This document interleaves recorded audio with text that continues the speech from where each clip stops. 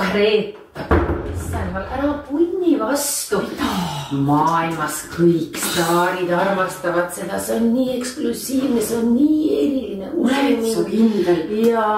ta pidi ju puuksutama samal ajal. no ja mis siis, see on kasulik, see on tervislik, mulle just räägiti, et siis näitab seda, et kõik siseorganid töötavad normaalselt.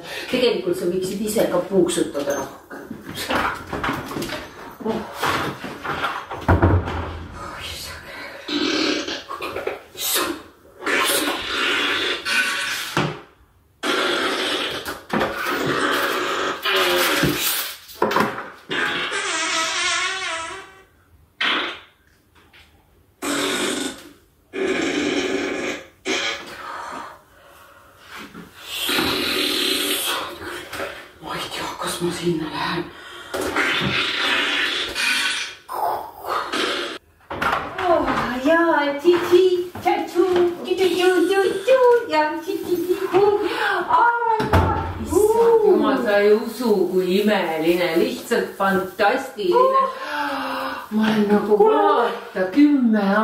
aastat noorem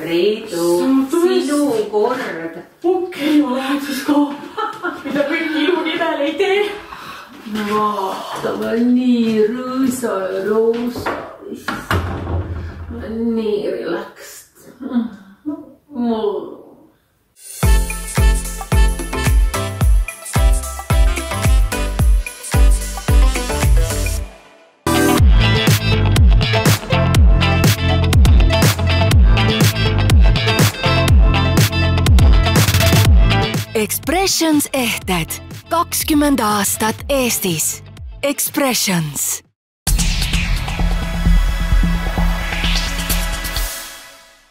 peeglijutud alustab, minu käes on Lash veebi ripsmed, me oleme juba need endale peale kleepinud, et paremini näha kuule, aga no enne kord meil jäi sellise põneva koha peal pooleli, et ma ei suutnud magama jäädagi, sest noh, mul on tselluliit ja mitte vähe, päriselt. tõsiselt räägid, ütled ausalt seda välja? jah, ma ei häbene üldse ja et see on see probleem ja see on tekkinud just seoses sellega, et kindlasti mul on ka veidi ülekaalu probleem hmm.. ei, see ei pruugi ma olla. isegi ühte testi, kuhu sina lähed ka kohe-kohe, aga see ülekaal jah, on olemas ja see tselluliit minu meelest versus selle ülekaaluga kogu aeg nagu võimendub, et nii kui ma saan natuke alla, siis see tselluliit läheb nagu ka vähemaks. aga mis asja sina no tegid? kuule, Reedu kallis, sina tegid neid igast kuuma ja higimatte kuradi, ma ei tea, mis imeasju ja see pidi kõik tselluliidi ära võtma ja siis on saunad ja siis on laserid ja ma ei tea, mingid imeasjad ja ma jätsin need kõik proovimata igaks juhuks, sest ma tahan alati, ma olen ju selline bitch, kes tahab, et Reedu proovib kõik asjad ära. Katsetab ära. siis ma vaatan, mis nägu ta on. Ja siis ma nagu vaikselt lähen, et täpselt enne kui ma selle põhiteema juurde jõuan, siis ma just see sinu see vampiiri hooldus, millest kusjuures me eelmistes peeglijuttudes rääkisime, et enda verd süstitakse siis näkku. mina esimest korda vaiksel hiiresammul, mulle pakuti ka seda Roosmariist, võin ausalt öelda, rääkisime Hea tüdruk podcast'ist ka sellest firmast ja kuna seal tehakse erinevatesse kohtadesse näkku, kaelale, dekolteele, kätele, siis ma mõtlesin, no mis siis kätega ikka võib juhtuda, eks ole, et lähen lasen siis selle vampiiri hoolduse teha oma kätele. ausalt öeldes ma ei ole sinna tagasi äh, veel jõudnud, aga mulle piisas ka ühest korrast, kuigi nad soovitavad, ütlevad, et äh, esimesed kolm, kolm korda tasuks regulaarselt teha, sest sa kohe noh, kui sa ei ole mitte kunagi seda teinud ja su käed obviously vananevad, siis ta imeb ja sööb selle nii kiiresti lihtsalt ära, tee kolm korda ära ja siis võid pärast aastas korra ainult Mhm. teha mm. -hmm. ja ma olin imeväel, ma tõesti. oot-oot, aga ma ei saa aru, sa viid juttu nagu mingi hoopis mingile Ah. teisele asjale, ma tahan teada, mis sinuga tehti seal Tais ja mida sa ise ka kogu aeg teed, et tselluliiti pole, ma tahan okei teada okay., kuula nüüd, ühesõnaga olen siis mina Tais seal massaažis, iga päev käin seal ja ühel päeval siis seal minu lähedal siis ilge plagin läheb lahti, plaksutamine, plagistamine, lagistamine, niisugune vastik. aga ma ju olen seal silmad kinni, kõik mul on mingid lapid näos, no tahan relax ida seal. niimoodi käib ja niimoodi nagu sihuke nagu piitsalöögid või nagu selline ja, ja, ja tund aega jutti täpselt seesama aeg, mis mina olen. siis ma krebisin selle lapi mingi hetk ära, mõtlesin ükski, mis asi see on, see ei saa nii kaua kesta, et see, see, see on jube. esiteks mul on jube seal olla ja teiseks jube uudishimu on ka mm. -hmm ja siis küsin selle naisterahva käest, et no mis nad teevad seal. ei, it's a cellulite treatment nagu okei okay.. ja siis ma ka veel ei saanud ikkagi aru, mõtlesin, et nad peksavad mingi lapiga või mingisuguse piitsaga. siis ma nagu vaatan, ei, naine lihtsalt niimoodi, niimoodi täiesti jõust käib kõik selle läbi ja siis ma nagu plaksutasin suurest rõõmust, sest teate, mida mina olen juba aastaid mm. tegelikult teinud. mina ärkan hommikul ülesse, siis äh, oi, ma võin selle protseduuride kõik selle loo ära rääkida. no esimene asi, ma ei karga kunagi voodist välja, eks ole mm.. Äh, teen seal, noh, teen vaikselt jalaringikesi niimoodi, et ma ärkaksin ilusasti üles ja nii edasi.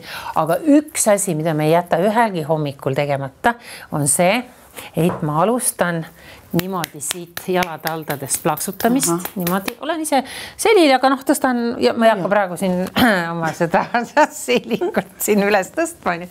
ja alustan lihtsalt siit ja käin niimoodi hästi tugevalt niimoodi jalatallad, see on ju vana Hiina meditsiin, me ju teame seda no,. Äh, kui punktid. konkubiinid või geishad, äh, kui neid äh, keiser, keisril oli ju konkubiine, ma ei tea, kui palju, eks ole mm. -hmm. ja kui seda konkubiini ootas nagu siis seksuaalne suhe keisriga, noh, ta oli mingi tüdruku välja valinud enda naiste seast tolleks õhtuks, siis esimene asi, mis tehti enne kui ta õhtu saabus, noh, päeva jooksul teda muidugi valmistati mm -hmm. ette seal, oli roosivannides ja siis pandi igasuguseid lõhnavaid õlisid peale, tehti massaaži.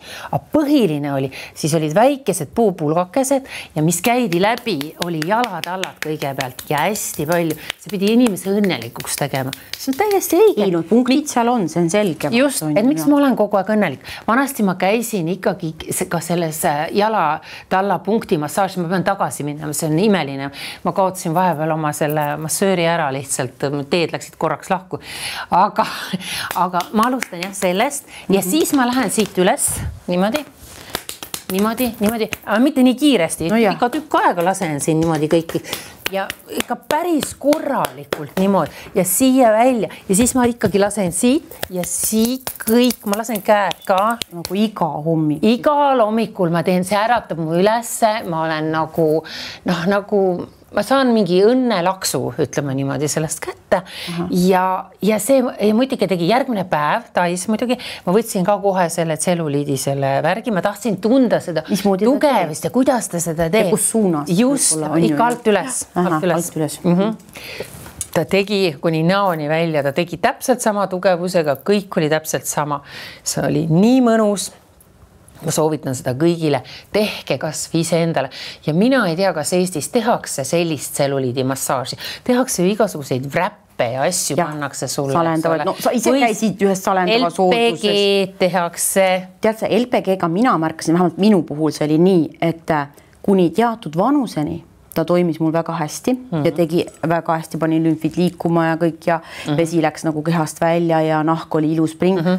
aga mingid viimased korras ma tundsin, et ta jubedalt venitab mu nahka, sest vaata, mu nahk ongi lõdvem tänu sellele, et ma olen ikkagi vanem, küpsem on ju mm -hmm. ja seda elastsust enam nii palju ei ole ja samas kaal on võib-olla ka kõikunud rohkem ja ta nagu, issand, ma tulen sealt välja nagu Sharpei vaata pärast on ju ja ma ei tea, võib-olla see oli ainult minu mingi teema, aga ma ei julgenud enam minna ja pärast pärast ma olen erinevatest artiklitest, noh, välismaa artiklitest mm -hmm. lugenud, et jah, see võib mõnel juhul nii olla, aga see sõltub ka sinu naha nagu sellisest Tüpaasist, koostisest või mhm, tüpaažist mm -hmm., mõnele võib-olla ikkagi sobib mm, -hmm. aga mina soovitaks jah, et kui sa oled juba näiteks siis äh, ma ei tea, nelikümmend viis pluss, et vaata mhm. siis täpselt see plaksutamine või siis ma olen käinud ka vela shape'i teinud, on ju mm, -hmm. ja, ja sellised natuke nagu teistmoodi ja jah, ka inframatti on ju mm, -hmm. et see väljutab, see on nagu saun aga noh, ütleme, seal on jube tüütu olla, sest sa pead ikkagi mingi viiskümmend mintsi olema selle täiesti siukse põrgu kuuma käes ja, ja see natukene noh, lõpuks tüütab, kuigi ta noh, mõjub hästi, on ju, aga mm., aga jah, et ma pigem siis vaata, mulle meeldivad nüüd need mähised ja sellised vaata mõnusad massaažiga hooldused, et sa tõesti tunned, sul žup, pärast on mingi number läinud väiksemaks Mhm, jalad ja nüüd läksid muidugi, siis sina said selle salendava hoolduse seal äh, Artifexis. Ja sest mina lähen ka tähtsalt sinna, nii nüüd ma saan täna peenemaks, aga ei, ma sain kuldsemaks, noh, mis mul ka meeldis. ja no ma käisin seda kulda, kuna sa said Ja. selle seekord, ma käisin eelmine kord ise seda mm Mhm. -hmm. kulda proovimas. ehk siis siin tõesti kaetakse sellise kullaga, mis tahkub ära. nagu mask jah. Jah, ja siis see võetakse, tõmmatakse nagu Ja. sult siis see kuld lastakse imenduda. ja kusjuures see kõhumassaaž tegelikult midagi ikkagi ta pani liikuma ka, et ma tundsin, et mul nagu nagu noh, käisin kuidagi tualetis mm -hmm. tihedamini ja, ja paneb ikkagi need protsessid tööle mm, -hmm. et see ei ole ainult see nahailu, mis pärast seda on, vaid ikkagi see on see ka mingite protsesside nagu just toimimine. ja Arti- Artifexi meelde tuletades, siis äh, see tselluliidi massaaž nüüd nende mm -hmm. nii-öelda kontekstis siis nägi välja selline, ei plaksutatud midagi, aga nad panevad päris õigetest loodustaimedest, et ekstraktidest nagu tehtud siis äh, ka need äh, ikkagi hõõruvad sulle sisse, Ja, mähivad su sisse seal. sellise beauty spa, Ja. World of Beauty Ja, bränd, jah, täpselt, just.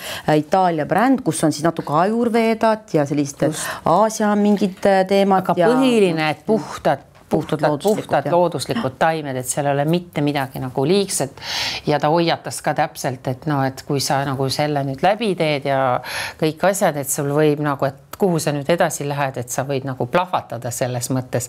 mul tegelikult ma ükskord saatsin oma ema selliste vetika hooldusesse mm.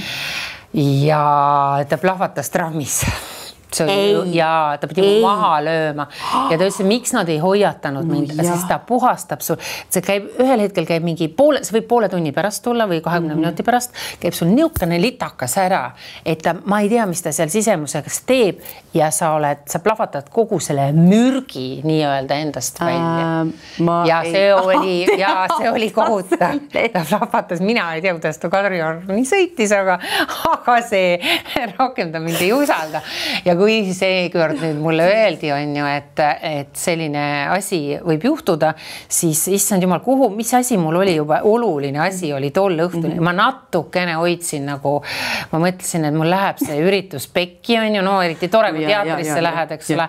et oh, olin ükskord teatris, nii tegin ühe suure puhastuse. no see vaikuse hetkel oli nagu minu kori kuulda üle terve saali. et no just, et sul hakkab ka see organism korisema ja plörisema nagu, et sul ei pruugi seda plahvatust isegi tekkida, aga kõik see sisikond hakkab tööle, see mootor hakkab tööle ja mõtle, sa istud kuskil kontserdil väga viisakal või teatrietendusel ja siis käib seal noh, et siis tuleb lihtsalt äh, lahkuda sealt äh, ruumist või mitte neid protseduure enne seda teha, et see on, see on ohtlik natukene. aga see on hea, kusjuures, kui sul see käib äh, läbi ja ärge inimesed tundke nagu pahameelt mm -hmm. või, või ärge tundke piinlikkust, ma tahan seda öelda, et mul on vahel niimoodi, et kui massöör masseerib mind või teeb mingit iluhooldust, siis ka tal hakkab kõht korisema. Mm -hmm. ja siis see pidi olema nagu vastastikku, ka tema saab selle vaata, no see on ju energiate Abi- vahetus, mis siis toimub, on ju. jaa, ja, ja, ja, ja ka temal hakkab organism tööle, ta teeb ju neid, neid Tööd tead- jah, spetsiifilisi liigutusi. no rääkimata sellest, et sul endal hakkab, sa hakkad seal korisema vahel seal laua peal, et seda ei tasu üldse ja mitte keegi tänapäeval ei naera isegi selle üle. ja meil on üks tuttav, mul on üks massöör, võib-olla sina ka tead, meil üks tore juuksur soovitas, mis tema teeb, hiinlanna. Ja, käisin ta juures nüüd mõnda aega, praegu ma nagu ei ta ole tahtnud minna natuke aega, sest ma ei saanud sealt enam minema et äh, tema teeb, teeb, teeb ja vahepeal mul on selline tunne, et ta nagu tukuks mu peale, siis ma mõtlesin, et noh, ma läksin, võtsin tema juurde alati viimasena No jah, nagu massaaže, et õhtul koju minna ja lõõgastuda lihtsalt. ja siis ta on niimoodi seal ja siis niimoodi tuigub, niimoodi tuigub ja siis mul oli kogu aeg ja siis ta niimoodi järsku teeb ja siis ma mõtlesin, et kas ta jääb magama mu peal seal nagu vaata niimoodi, et tal on pikk tööpäev olnud mm. -hmm. ja mis ta veel teeb, ta puuksutab sel ajal, kui ta nagu teeb mulle Oh, seda oh. massaaži ja. Ja jällegi uurisin hiinlannade märk, see on, see on hea märk, see on no, nagu araablastele, et nad röhitsevad, kui nad söövad, on ju. kui sa araablaste seltskonnas näiteks äh, sööd mingit rooga ja sa nende kuuldes ei röhata, siis see tähendab, et see toit ei maitsenud sulle. ja hiinlastel on see, sul peab kõht korisema, massööril peab kõht korisema ehk soolestik peab läbi käima ja antud inimesel ka puuksutamine käib, sest ta laseb selle paha kõik läbi enda välja sinna kuskile kaus. siis mingit halba lõhna, mitte midagi sellist asja ole. Hiinas ei taha minna. et sellised äh, kummalised asjad, mis nagu meil on nagu ihihi ahaha, tegelikult need on täiesti äh, loomulikud asjad, et, et see on kõik sinu keha töötab, see näitab, et see töötab tegelikult ja kui sa ka väga palju higistad või, või mingitel momentidel on ju noh, näiteks peale massaaži, ma tunnen ju mul vahel higi kõik mm -hmm. voolab ju, ma olen täiesti läbimärg või kui ma sel öö magan ära ja ma mõtlen, et ma olen täiesti higistanud öö läbi, mõtlen, et okei okay,, et see ei ole ealised iseärasused, vaid see on see, et sul läks kogu organism tööle, nad ütlevad, see on bueno, kes higistavad noored inimesed higistavad selles ja, mõttes, et ja. su organism töötab ja kui sa magad niimoodi pikalt ja andunult, et see on ka nooruse eliksiir tegelikult. muidugi, sest uneprobleemid on tavaliselt, millal nad tulevad, eks ole, et ikkagi ajame. ja ma tahangi siin Ecoshi toodete juurde kusjuures äh, jõuda, mulle anti, sulle anti vist need, aga mul on üks reishi seene nüüd preparaat, mille mm -hmm. ma mhm. jällegi Tais avastasin, et äh, see on seen, seen mm -hmm. ja see on igavese elu või siis surematuse seeneks kutsutakse seda reishi punast seent ja seal kuidagi räägiti sellest ja, ja minu head äh, tuttavad siis, äh, kes seal Tais elavad osa aega aastast, ma näen, et nad tarbivad seda onju. võib-olla seal oli unetusega mingeid probleeme või, või mida iganes ja aga räägivad hommikul oma värvilistest unenägudest ja nii edasi. mis imeseent te sööte, sest ma olen Tais söönud ka mingeid kunagi mingeid keelatuid seeni, eks ole, mis on väga värvilisi -hmm. unenägusid tekitavad. aga, aga ei, see on jumalast äh, müügil olev ja nüüd ka meil Eestis ma avastasin, mul said need Tai seened otsa, ma tõin ilge hunniku Taist neid äh,. punaseid tuua siis. ma ei tea, issand kõudne ma tõin neid äh, preparaate ja ma sõin neid ja ma ei saa saanud enam ära lõpetada. et ja ma Ecoshist nüüd õnneks leidsin, on sama ja, ja tarbin neid ja regulaarselt, et see on kuidagi andnud mulle mingisuguse power'i ja unena, inimesed, kes te võitlete unetuse vastu, et äh, ma ei, tead, ma ei taha osasid, ma täna ütlesin ka enne saadet sulle, ma ei taha osasid asju reklaamida, sest tavaliselt, kui ma seda reklaamin, siis need asjad on otsas, sest ma pean rääkima ikkagi siia vahele ühe loo eelmisest aastast. issand, ma ei tea, kas ma tohin seda rääkida, puuduta mind saates rääkisin, ma ei tea, kas ma siin tohin seda rääkida. ma ei tohi nagu sellist, vaata, ma olen nagu dilemma ees, vaat võib-olla sina oskad vastata sellele. Mm et vahel mind mõistetakse hukka selliste asjade eest, et, et äh, arst kirjutas näiteks mulle antibiootsi välja, ma mhm. sain puhkborrelioosi eelmine aasta. Äh, selle entsefaliidi vastu ma olen äh, süstitud, aga noh, selle vastu sa ei saa midagi teha, on ju. no sain selle oma laksu kätte. Ja sellepärast, et meile ei aeta muru parkides, külitasin Pärnu linnapargis, sain ilge koleda puugi. Saaremaa puugid mulle haiget ei tee. jah, aga samas on ilus see õiemuru. väga ilus on, aga seal ma sain no. jubeda puugi sealt. noh, see selleks ja, ja, ja siis ma olin, ma olin dilemma ees, et mida ma nüüd teen, on ju. et kuna ma ne, teen neid natuke teist sorti saateid ka on ju, siis ma rääkisin nii-öelda nende, kes on ainult taimede ja looduse usku ja nii edasi et, et mis ma nüüd teen, et arst kirjutas mulle välja, arst, ma loodan, minu arst ei vaata nüüd seda, sest ma jätsin need rohud välja ostmata.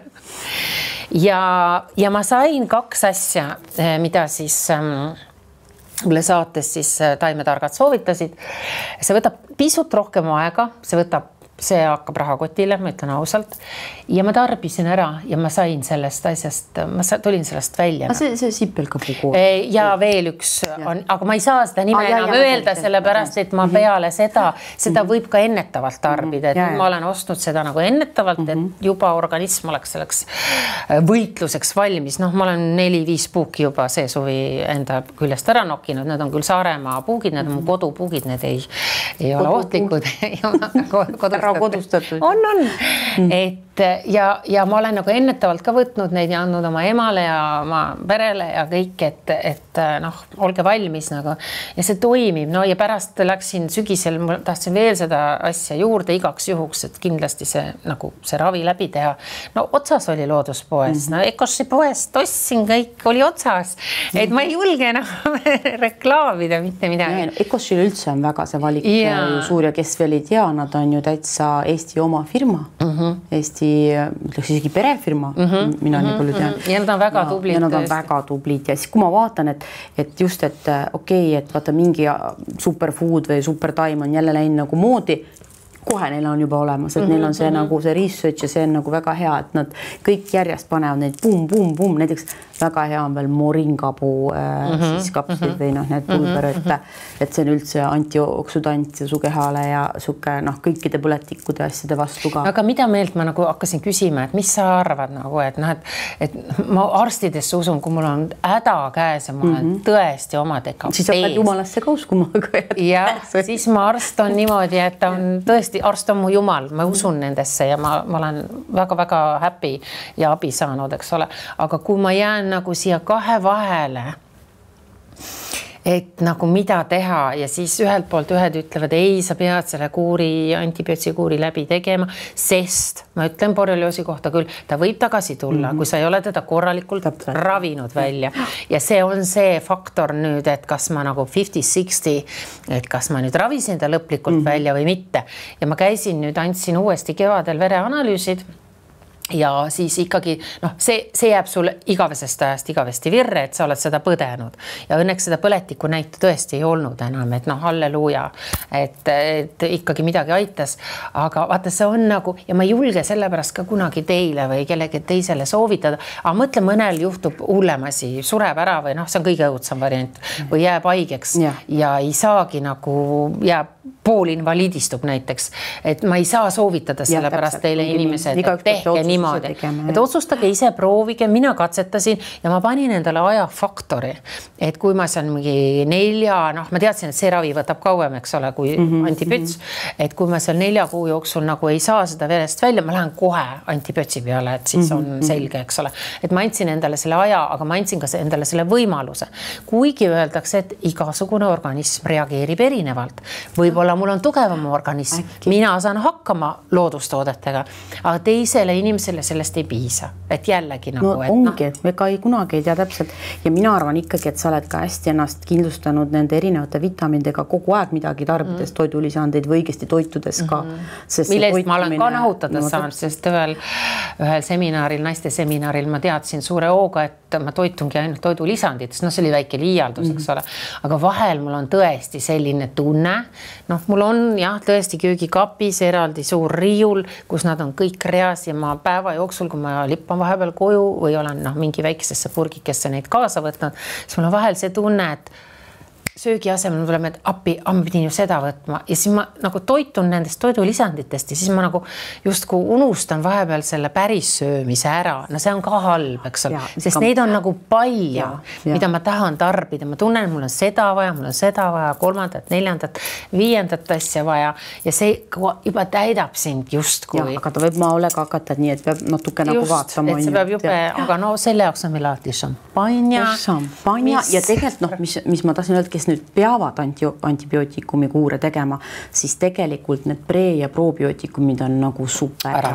vot need. vot neid peaks võtma ja ka Eesti firma omad on siis Omega sellised äh, probiootiks äh, kusjuures see on keel ja see on ka äh, vedelik, et sa mm -hmm. võtad ta sisse ja ta hakkab tegelikult sul juba siin suuõõnes juba toimetama ja juba imenduma mm, -hmm. et kapslid on ka head, aga noh, nende tehnoloogia on nii, et nad siis hiljem seal peale siis maomahlu ja kõik hakkavad seal mm -hmm. jämesooles ja peensooles siis ennast seal äh, eraldama, aga tegelikult äh, need keelid ja siuksed spreid, vitamiine spreid on ka väga head mm. -hmm.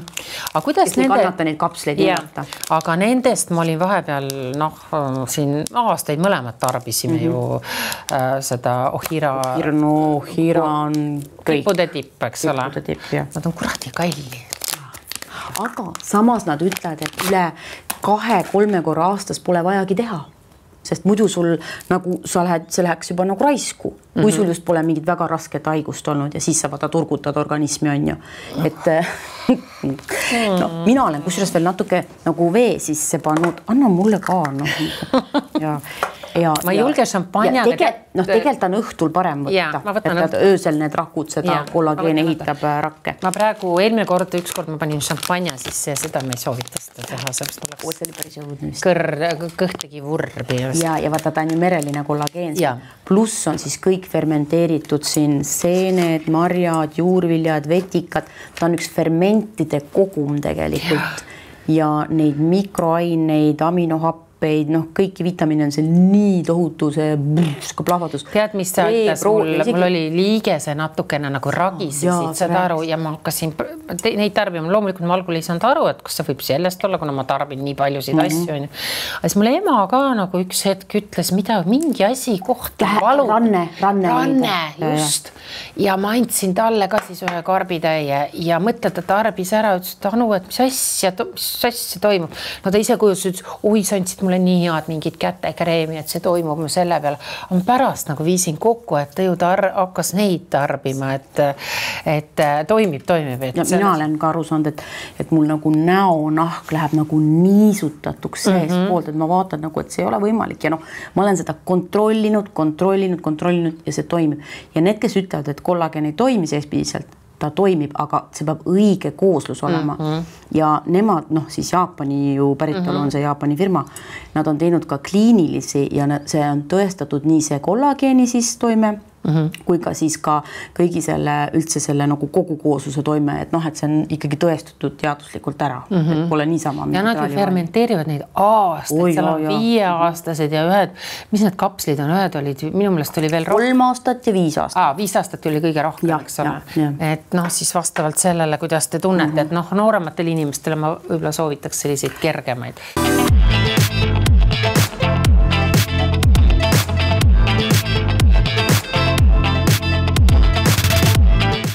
Expressions ehted, kakskümmend aastat Eestis.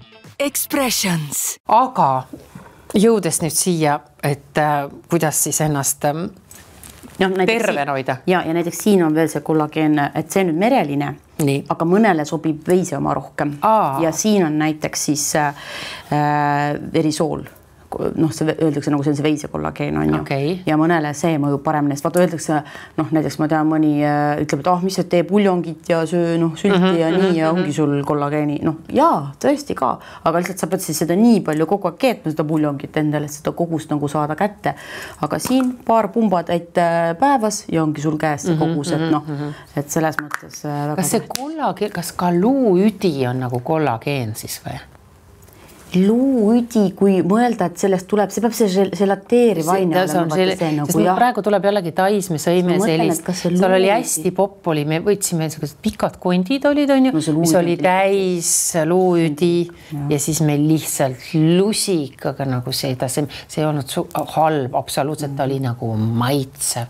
ja siis ma mõtlen ka, et need hiinlased ja jaapanlased ja üldse Kaug-Ida inimesed, no küll nad ikka oskavad päriselt ka, et kuidas me noh, me nagu, ma ei tea ei no meil samas on ka ju toidust ikkagi saab päris palju kätte. millest sülgist noh, või? noh, noh, kui ta on ju puhtalt kasvatatud see loom. mis asi no., kus on meil puhtalt kasvatatud loom, halloo ma ei julge looma süüa, sellepärast et see loomadele antakse nii palju antibiootikume, et ma ei saa ise ka ravitud. kasvuhormoone. just, et noh, ma ei nagu asju. ei oska ja ma ei, olen kala suhtes ka natukene skeptiliseks muutunud. vaata, ma eelmises saates ütlesin ka, et noh, et kui ma selle toitumise mm, muutsin endale, et ma just rääkisin, et neljakümnendates natukene need voldikesed hakkasid üle püksi ääre nagu riputama. me ei räägi sellest, et mul täna ei läinud see tal ei läinud hommikul. sa võtsid meelega mulle väiksema numbri. me... täpselt no. ja, ja ühesõnaga ja järsku ma avastasin, ma ei tea, kust mul järsku tuli, muidugi Victoria Beckham rääkis siis, kuidas tema peab vähemalt korra päevas sööma lõhe uh. -huh. et see on kas siis aurutatud või Kus ta siis sööb ainult lehti, mingit rohelist. ja siis äh, kraavilõhe loomulikult ja ma ei tea kuidagi. ja siis ma vaatasin teda, okei okay,, noh, ma saan aru küll, et ta on seal igasuguseid asju ka teinud, aga ta on sale, ta on tõesti sale, aga toitub, toitub ikkagi, ta ei ole näljas. ja kala oli siis see põhiline, mida ta siis ähm, sõi ja muidugi lõhe. Ja siis ma siis üritasin ka siis olla Victoria. Ja, ja, ja võtsin ja avokaadod olid tal, lõhe oli. Ja oota, mis see, mis see, ma hakkasin ka kodujuustu hapukoorega sööma hästi palju, mida ma varem ei teinud nagu uh -huh. noh, ma kuidagi muutsin mingisugused komponendid ära ja samas kuulasin oma sisehäält, mida ma ka soovitan. et mis sind isutab, no ma saan aru mhm. -huh. sind isutab šokolaad, kedagi isutab uh -huh. mingi tassi kook onju, jäätis, et äh, kui ma hakkasin õieti nagu toit toituma ja tarvitama õigeid toidulisandeid, mida mul päriselt ka vaja oli. selle jaoks tuleb kusjuures testid teha, ma lähen ja, ju nüüd ülehomme sinna, kus sa käisidki. Happy aging. Happy aging'isse lähen mm, -hmm. seal tehakse sulle kõik proovid ära ja siis sa saad teada mida organism tegelikult vajab, et seda ma soovitaks ka, et see võib-olla lõpetab selle hulluse, et mul on nii liiga palju neid toidulisandeid, sest ma võtan seda, seda, seda, seda ja ma kujutan endale ette, eks ole, et, et noh, järsku koormad tegelikult sellega ju oma just, organismi ka, kui sa liiga palju võtad. ja uriin on väga kallis kindlasti mm, on ju, mis välja tuleb, on ju. aga, aga ma lähen teen selle, mis sa soovitasid mulle kindlasti läbi. noh, mina näiteks vähe sellest, et sa saad teada, mis sul on puudu sa saad teada, millised asjad on sul üle, näiteks mul oli selline paha raske metall organismis nagu kaadium, millest. aga nagu kust sa saad sellist kaadium? täpselt ja siis ta ütleski, et ja et seda saab kui suitsetajate vaata seltskonnas mm. palju või peres ja. või nii suitsetatakse, aga ma ütlesin, ei ole. sa ei suitseta, sul ei ole ka lähikondlastes? ei, noh, ütleme kunagi väljas käisin, kui võis suitsetada, noh, tõesti no, siis suitsetati kõik, palju, aga ja siis ka, et noh, võib-olla mingid siis akud või, või värvipigmendid, siis mõtlesin, et noh, ma ei tea, võib-olla tõesti siis mingitest kunagistest meigivahenditest või mm, -hmm. aga noh, tänapäeval seda küll nagu enam ei ole ju, et vot ei tea, aga noh, nüüd on vähemalt on olemas pääseteesis, et ma pean siis tegema lihtsalt nüüd selle detoxification'i mm, -hmm. et siis ma ma nagu saama need mürgid välja verest, et selleks on jälle spetsiaalsed meetodid ja see happy aging on siis tegelikult tuntud just oma infusioonteraapiate poolest. et see on see siis, et sulle mitte eh, siis alguses võetakse jah, verd, tehakse kõik vereproovid, et saada aru, mis sul siis vaja on teha mm -hmm. ja juurde anda või, või mida ära võtta verest ja siis äh, pannakse seda vastavalt, mis iganes ained sul on nagu puudu või vaja sind turgutada, siis tehakse niisugune personaalne sulle infusioonteraapia. noh, nad on ka eraldi ja niiviisi näiteks mina sain rauda täiesti korraliku portsu rauda, sest mul oli äh, siis täiesti rauavaegus, just ferritiin oli väga madal ja ka hemoglobiin oli väga kehva. aga noh, see ongi meil nagu naisliini pidi ka kogu aeg olnud mm -hmm. ja ma pean seda kogu aeg jälgima. et noh, ja siis sain ka sellist asja nagu glutatsioon, mis on siis äh, selline teraapia, siis äh, infusioonteraapia, mis siis annab su kehale jälle need noh, puhastab nendest mürkidest ja, ja siis on selline just nagu noh, noorendav võib mm -hmm. öelda, on ju, ja. no see on võlusõna mm, -hmm, noorendav. et äh, päris huvitav, aga jah, siis see üks meetod, mille nad tegid selle üld selle skaneerimise selliste anduritega, et noh, et seal midagi ei võeta nagu ekstra proove, aga just seda andurit pandi külge ja seal tuli välja, no ma sain teada no kõigepealt ma sain šoki, et ma olen kolm senti madalamaks jäänud, kängu jäänud. sa oled mul, lühemaks ma olin jäänud. muidu seitsekümmend kuus kogu aeg terve elu ja siis järsku ma olin nüüd seitsekümmend kolm, mis on täiesti võimalik, sest vaata sa noh, eluga, eluraskused mõjuvad mm, -hmm. nii on ju.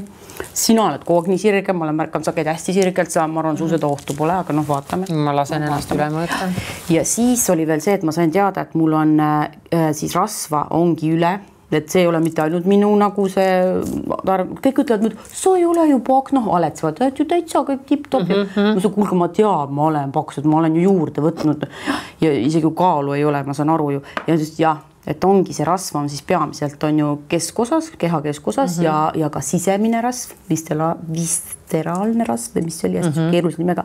ja et see on päris ohtlik tegelikult, et sellest peab lahti saama ja vot. aga mis asi see on siis, kas ta on nagu siis? ta on kuidagi seespool nagu elundite vahel. ja, aga mis kuidagi... oht on, et kas on siis kolesterool ja, või? jah, täpselt, täpselt mm -hmm. vot kolesterooli näit oli mul ka, nad tegid ka eraldisi veel, et see võiks ka parem olla, et nad ütlesid jah nüüd hakkame Reet tegelema sinuga ja mul ongi juba järgmine kohtumine kokku lepitud, kus ma saan siis personaalse sellise juhendi, et mida ma siis nüüd pean endaga tegema hakkama, sest vaata, tulekahju tuleb hakata ennetama enne, kui see põleb sul juba, sest et noh, muidu kui sa oled juba täitsa haige, no siis on noh, väga, väga raske nagu ravida asju on ju mm -hmm. ja mingid tüsistused alati jäävad, on ju, aga kui sa hakkad nagu ennetama, vot siis, siis ma arvan, see kõik toimib, et selles mõttes Happy Aging kliinik teeb nagu tänuväärt tööd, et nad. aga kas ei ole nagu ka meie perearstide nagu teema, et kui ma lähen, käin korra aastas, no osasid inimesi saadetakse töökoha juurest, eks ole, käivad mm -hmm. tervisekontrollis. no korralikud inimesed käivad perearsti juures, lasevad ennast äh, kõik äh, seal läbi tuuseldada. no kas ei ole ka nagu, kas sealt ei tule sellised asjad välja, miks ma pean minema ja ostma selle kalli äh, protseduuri ja, ja maksma selle eest, et siis saada teada, mida mul tegelikult vaja on. et kas see ei kuulu nagu siis meie. no meie arstisüsteem on ju nii ülekoormatud, sa näed ju ise, vaata, sa ei pääse löögilegi sa ei, ma ei, ma isegi ei mäleta, noh, viimati, millal ma julgesin oma perearsti tülitada, sest et noh, ikkagi ma tean, et neil on nii suur see töökoormus ja, ja et, et saada seda proovi tegelikult noh, siis nagu haigekassa, kui maksavad haigekassat ja kõike on ju -hmm. see, et see noh, kuna see on nii limiteeritud, siis noh, ma ei tea, mis sa pead sul juba poolsurnud olema, siis saad selle proovi tehtud, on ju mm. -hmm. et äh, selles mõttes lihtsam on lihtsalt minna ja kindlasti ka võib-olla noh, nad teevad seda veel põhjalikumalt ja neil on ka võimalused, et nad need proovid saadavad veel erilaboritesse ja noh, seal on nii palju võimalusi ja see teadus ju iga päev ju jälle areneb ja muutub, et noh, mina sellepärast valiks ikkagi noh ütleme nii, et enda tervis on kõige kallim vara mm. -hmm. et nagu investeeriks ja. sellesse, pigem jätaks võib-olla. jah, äh, et lase siis see tasuta haigekassa ravi olla siis neile, kellel on tõesti nagu väga häda käes ja mm, -hmm. ja. kes on ennast lasknud käest ära. käest ära või mis iganes juba on juhtunud nende elus on ju ja et me siis ei jää sinna ette, on ju, aga et noh, et siis, kui sa saad enda eest hoolitseda ja sul on see nagu võimalus olemas, siis pigem lähed, teed need proovid ära. ise? jah mm -hmm selge. no ühesõnaga ma jäin sinna ja. Victoria Beckami juurde, eks ole, ja võtsin sealt mõõtu siis, et, et noh, toitun ka, vaatan, no mis siis juhtub. halleluuja, kusjuures mul oli ka varem tuli USA-s elades juba tuli see moment, et et noh, seal on neid tervisesaateid nagu hommikust õhtuni, seal on omad kanalid selle jaoks mm. -hmm. seal ma õppisin ühe asja ära, mis nipp aitas ka hästi, oli see, et kui sa naudid liha siis ära söö palun liha kõrvale kartulit, eestlaste komme ja keedukartul, eks ole. või burger, burger ja kar-. oh my god, ei, never ever. E, ja teine, söö liha jah, liha ei ole keelatud, söö, kui see isutab sind. Jällegi kuulama keha, ma tahan, isutab, no söö see lihatükk ära, ma ei söö seda iga päev, aga talvel mind tõesti isutab. Sealiha ma ei söö juba ammu. Ja, ja teine asi, et või, või siis ära võta ka selle liha kõrvale riisi vaata, et ma söön, kui mul tuleb nagu vahel ma tahan riisi, mulle meeldib tume riis, ma söön riisi küll, aga ma söön teda siis ilma mingite muude lisanditega, alati, mis sobib igale poole, nii lihale kui kartuli juurde, kui riisi juurde mm -hmm. on köögiviljad, need ja, sobivad alati igale poole. ehk siis ma olen restoranis ka öelnud, et kui seal ma näen juba, et seal on mingi roog, mis mulle väga maitseb, aga sinna kõrvale on pandud kartul, noh, kartul on ka tegelikult köögivili, eks ole, võiks ja, ju öelda, et mis mõttes, et ei söö. kartul on siiski Tärklis. ekstra tärklis ja jäta see ära, võta muud asjad, seal on vahel ju kõik keedetud porgand, eks ole, või brokoli mm,, kaalikas mm, on rohelist värsket, võta see sinna juurde ja söö seda sellega koos. ja teine asi, mida ma teen ja mida inimesed tihtipeale imestavad, on see restoranis, et ma ei võta kunagi, et ma söön selle soolase ära ja siis ma võtan ka magustoidu otsa mm,. No. et ma jätan kaks tundi, vahel mind tõesti isutab ka magus, loomulikult ma ei ole ju kummist nukk, et, et ma tahan ka magustoitu aga siis ma söön seda mitme-mitme tunni pärast. ja nüüd ma olen ka imelikuks natuke muutunud, ma vaatan, et kui ma olen päeval ikkagi juba selle söögi ära, põhitoidu ära söönud, lõuna või, või noh, sellise korraliku toidukorra, siis ma õhtul enam sööma ei hakka, aga kui mul siis isutab mingi magus asi, kas on siis jäätis või tiramisu või mingisugune konjakitoru, siis ma võtan selle olen endale hankinud, mul on alati magus olemas, siis ma söön selle ära, aga siis ma üldse nagu põhitoidust ei söögi mm, -hmm. jätan selle üldse vahele.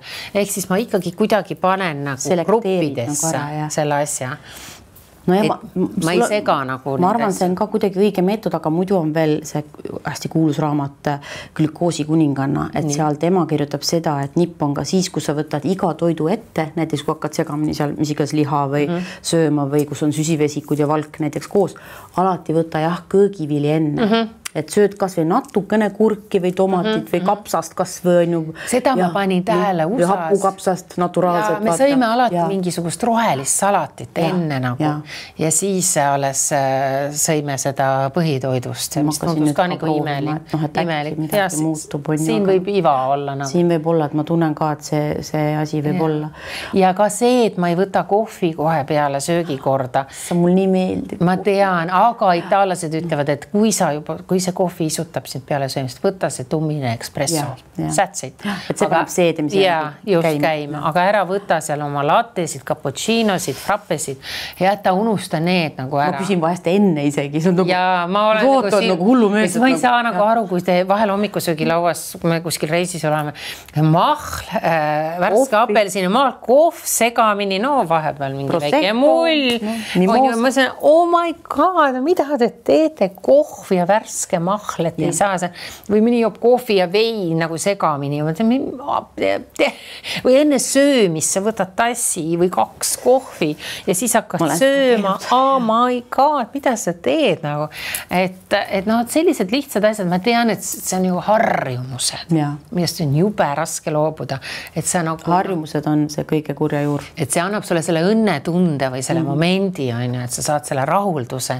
aga, aga kui sa õpid nagu kuidagi neid asju teistpidi, siis see noh, täna mul võib olla lademetes šokolaadi või midagi kodus, mitte iisutagi.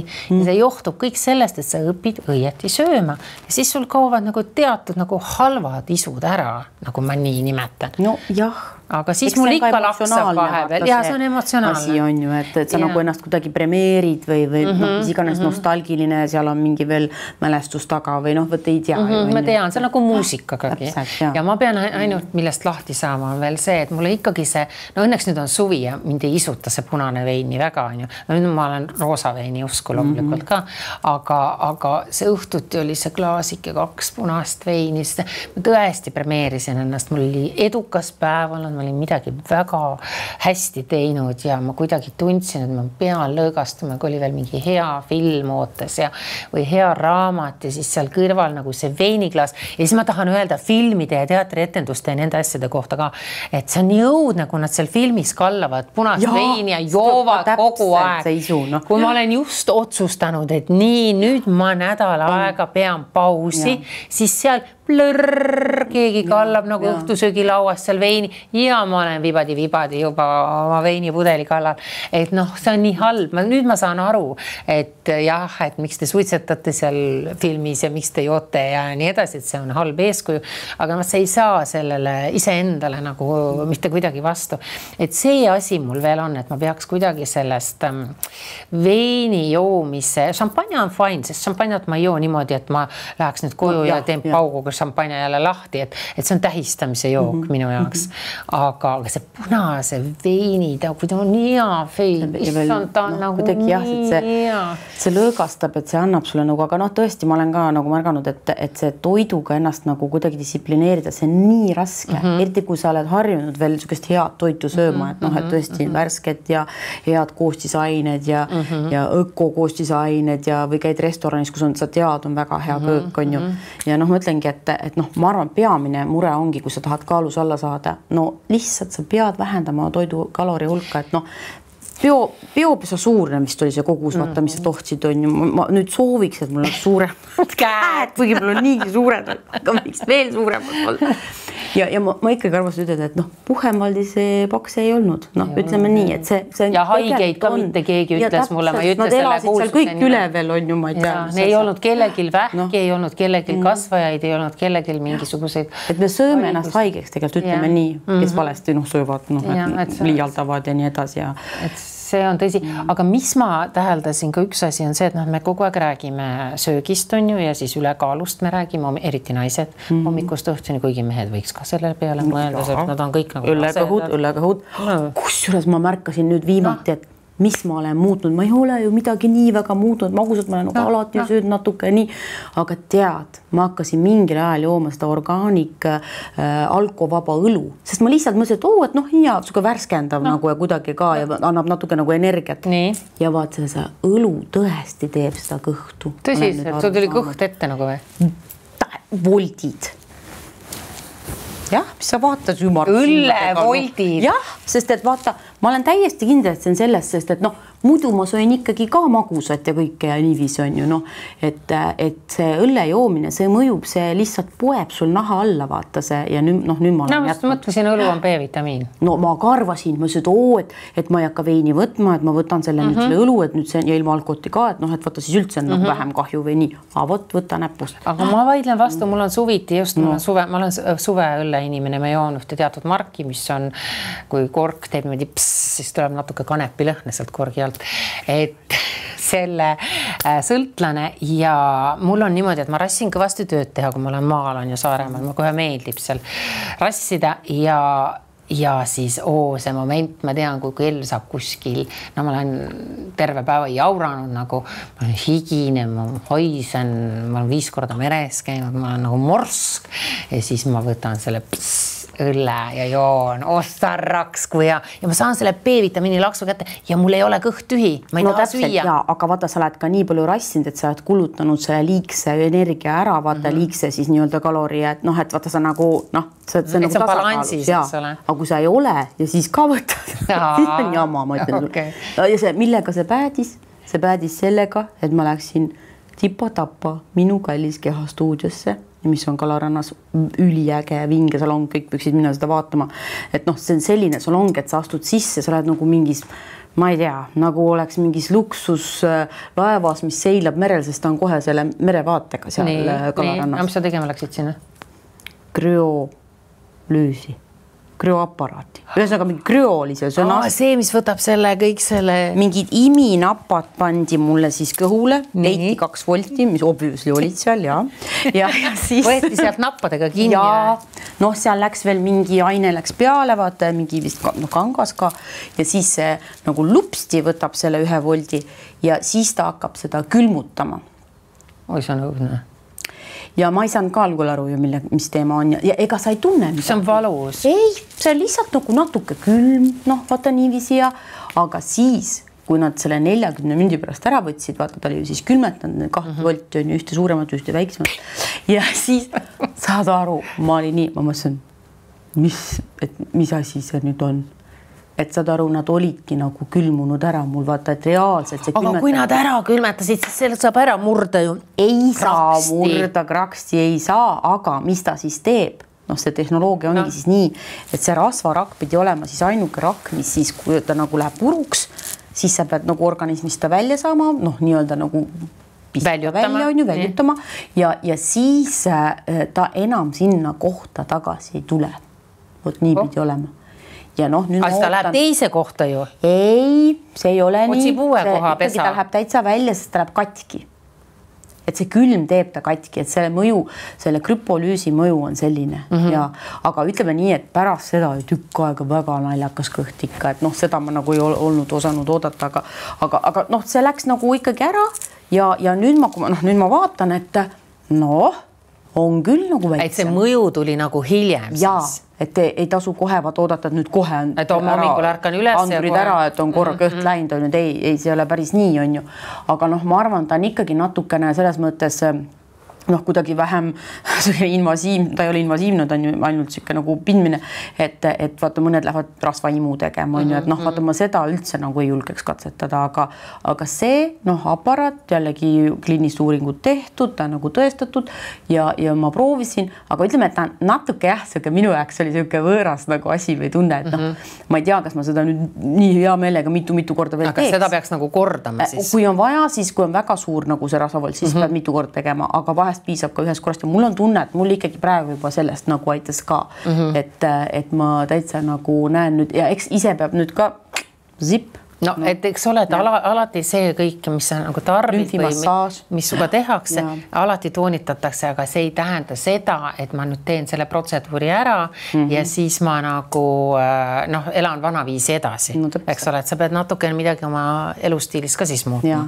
ja, ja tead, mis ma viimati nägin, äh, selline mul üks noh alati on meeldinud see supermodell Gisele Bündchen, väga su käekäe brasiillanna, kes nüüd tegeleb tervisliku toidu ja kõige jooga ja sellega ja heategevusega ja tema ükskord seal Insta story's ütles, et teate, mis on, et ärge mitte kunagi isegi naljatades enda kohta halvasti öelge või noh, nagu et, et aa, ma olen nii paks, ma ei saa kunagi vormi, ma olen nii kole, et sa ei tohi nagu seda, et, et need sinu sõnad või isegi mõtted, need mõjutavad sinu keha, sest see on kõik üks nagu. keha kuulab meid siis. süsteem mm -hmm. ja et need rakud kuulevad sind ja vaata siis, et, et noh ja minu meelest. issand, ma olen ütlesid... nii ilus, ma olen ja. maailma kõige kaunim inimene, ma olen nii terve, ma olen nagu kõige-kõige-kõige parem ja üldse ma olen nii tark, ma ei ole absoluutselt idioot ja issakene ja, ja, ja sa ütlesid, et keegi oli saanud nii, kes raadio ajal oli saanud talle, et ta mõtles enda kõhvaks mm. -hmm. ma tahtsingi vahepeal sulle just seda no. toitumisega seoses öelda, et tead, millal mul lõppes ka see toiduprobleem või see kaaluprobleem üldse ära, siis kui ma enam ei mõelnud sellele no,. see ma teadsin, mul oli ka mingi periood, kus ma kogu aeg ikkagi korrutasin, noh, kõik naised teavad seda no, viie kilo, viie kilo reeglit, eks ole, et kui küsida, no kuidas on, kuidas tun-, ah tead, mul on viis kilo liiga li, liigset nagu, et seda ei tohi nagu kunagi ka öelda öelda ja tead, ma ühel hetkel nagu lihtsalt unustasin ära. ma, mul õnneks mul lapsed viisid kaalu äh, kodunt ära, nad pidid oma kohvreid kaaluma onju ja siis ma siin tagasi nad ei toonud, ma ütlesin halleluuja, nii kui see kaal oli ka kadunud, nii oli nagu probleem lahendatud. ma ei mõtle, ma ei roni sinna hommikul sinna otsa, eks ole, ma ei kruti enda peas. nii kui ma selle ära lõpetasin, ja ma ei tea ja ma kuidagi riiete järgi vaatan ka, et ma olen selline, kui rii-, niikaua kuni mul need kogu aeg, isegi need kümme aastat vanad riided äh, selga lähevad, siis ma olen nagu, siis ma olen, siis on fine nagu. aga kui on stretch riided, vaata, ma läksin selle nahka mul olid siuksed venivad kogu aeg nagu retuusid ja niiviisi ja, ja kuidagi sul on mugav ja nii, enam neid skinny jeans ei tahtnud panna, kuidagi on, tegelikult ei ole nii mugav, noh, tegelikult ei olnud mugav.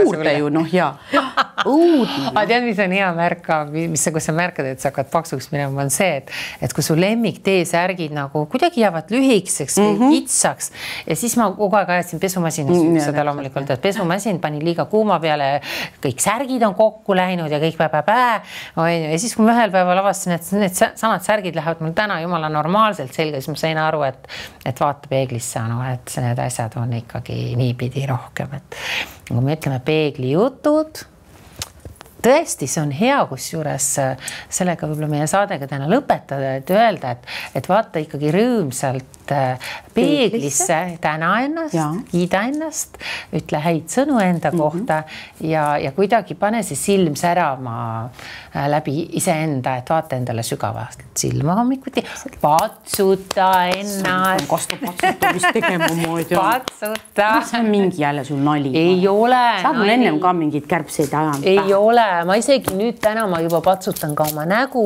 näo kõik hommikuti üle.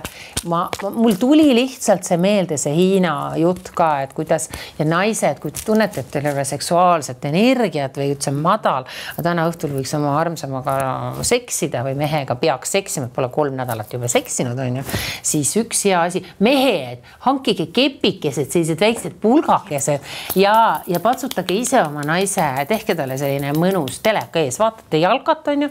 ja siis muidugi oma naise tahate pärast äh, noh, head skoori seal peale head jalgat.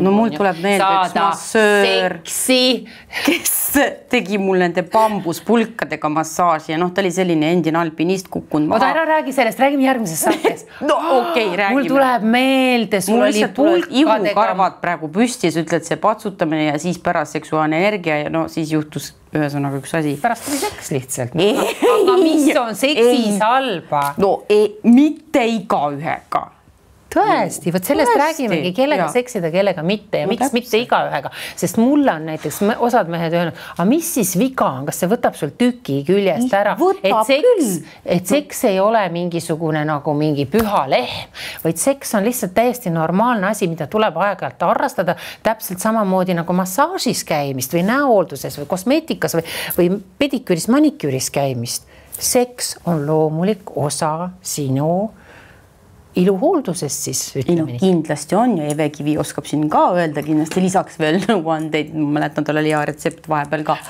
aga valasperma. tegelikult ma arvan, naistel ikkagi käib see nagu läbi nii ja nii ja siis aga järsku võtad kätte ja keerad selle nupu korraks kinni kinni. no ma ja seksid ära, no mis seal ikkagi, ma ütlen, ei võta tüki küljest ära. tšau järgmise korrani. seksijutud tulevad järgmine kord.